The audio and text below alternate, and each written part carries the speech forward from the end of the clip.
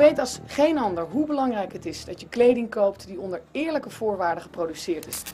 Je hoort het IOC er niet over, maar mij wel. De sportkleding voor de sporters die meedoen aan de Olympische Spelen in Peking, die wordt gemaakt onder mensonterende omstandigheden.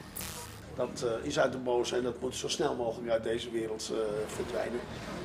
Je zou denken, je stuurt er een vakbond op af. Maar in China kan dat niet.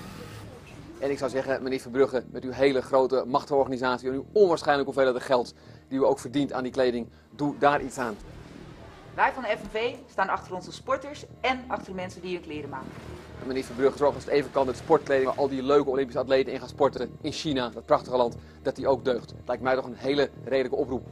Stuur die fakkel de wereld over voor betere arbeidsomstandigheden. Catch the flame. Catch the flame. Catch the flame. Catch the flame.